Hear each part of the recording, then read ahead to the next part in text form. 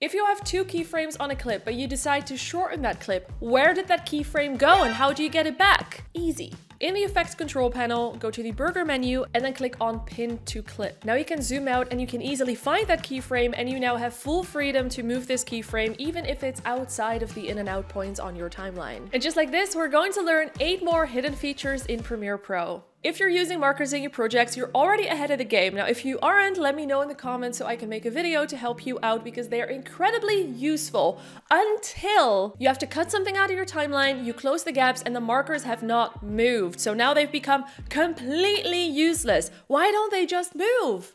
Here's how to fix that. In the top menu, go to markers and then click on ripple sequence markers. Now they should travel with your clips as you change things on your timeline. The next tip might trigger some nightmares. I'm sorry. Let's say we're editing and suddenly we notice that there is a gap on our timeline. We're missing an audio file and we've already edited so much that it's too late to hit Control or Command Z to get it back.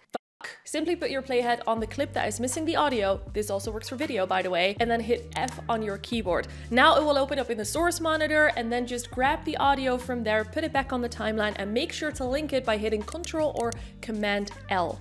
If you want to learn more shortcuts like the F shortcut, which is something that I really, really recommend because it speeds up your editing workflow so much, which also just makes it a lot easier and a lot more fun to edit, I recommend to pick something up like an editing keyboard or an editing cover if you already have a keyboard and you don't want to get a new keyboard because this is basically a cheat sheet for editors. Every key shows you this shortcut in Premiere Pro. Now they're also available for Final Cut or for DaVinci. I learned my way through shortcuts through a keyboard like this from Editor's Keys. This one specifically is from Editor's Keys and it's made in collaboration with Premiere Gal. If you don't know who she is, you should because her name is literally Premiere Gal, Premiere Pro Gal. She knows everything about Premiere Pro. It is just a great way to learn new shortcuts because all you have to do is look down and you'll learn a new shortcut every single time that you're editing and you don't have to Google. Super fast, highly recommended. There will be a link in the description if you want to get one because now they are 15% off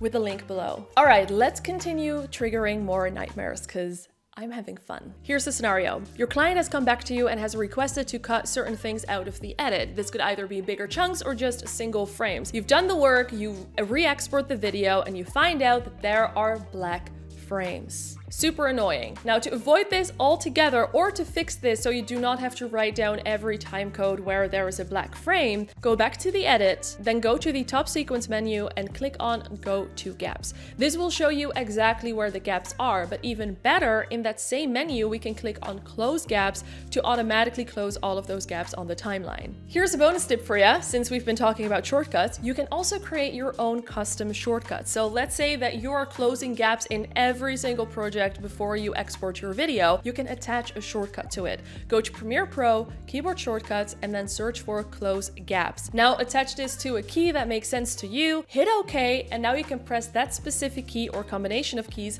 to close the gaps without having to go to the menu every time. We've been talking about how to speed up our editing workflow, but what about speeding up Premiere Pro? Now, every time that you create a project in Premiere Pro, Premiere Pro will start creating these temporary files, also known as cache. The more project you will work work on, the more of these files will be created and stacked up and hence will slow down Premiere Pro. If you start to notice this, it is time to clean up your cache and there's two ways to do this. For the first method, we have to have Premiere Pro closed. Then when we open Premiere Pro, immediately hold Option on a Mac or Alt on Windows to open up this Reset Options window. Here you can choose to reset the app preferences, but we'll just stick the box in front of Clear Media Cache Files. Now two, which is way better, we can also do this automatically. In Premiere Premiere Pro, go to Premiere Pro, Settings, and Media Cache. Here you can choose to delete the cache after X amount of time or after a certain size. One really important tip though, only delete the cache once you're done with a project, because otherwise Premiere Pro is going to take a bit of time to recreate all of those temporary files, which is not too big of a deal, but definitely wait till you're done with a project and you've archived a project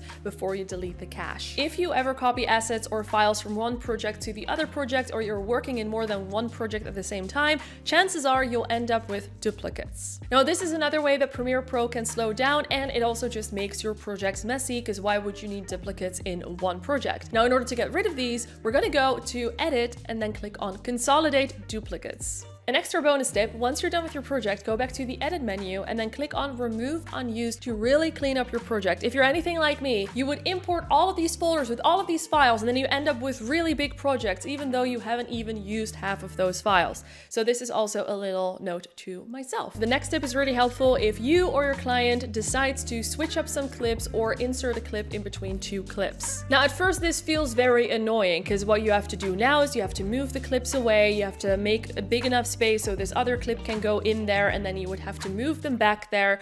No, because what we're gonna do is we're going to hit Control or Command if you're on a Mac and drag the clip in between two clips. This clip will now be inserted on the timeline without overwriting any of the other clips. Now, would you have already known this tip if you had an Editor's Keys keyboard?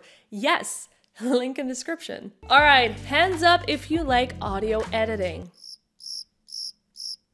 I thought so. In recent years, Premiere Pro has made editing audio a lot easier, and especially when they recently introduced a feature that will automatically tag your audio files as dialogue, music, sound effects, or ambience. This feature is called Auto Tag, and you can find it in the Essential Sound panel. Once the tagging is complete, you can click on a tag, and then all of the clips tagged with that category, let's say dialogue, will be highlighted. This makes it a lot easier to enhance the audio in a project. And speaking of enhancement, if you want to enhance your speech and make it sound like it comes from a very expensive microphone, you can. Now that we have auto-tagged all of our dialogue clips, we can improve the quality by clicking on the button Enhance in the Essential Sound panel. Next to this button, we'll see the progress, and as you can see, you can also add less or more enhancement by using this slider. Now honestly, this feature is a game changer and I use it in all of my videos. The next tip is all about AI in Premiere Pro because it is getting better and better, which means that it's more fun and easier than ever to create good videos.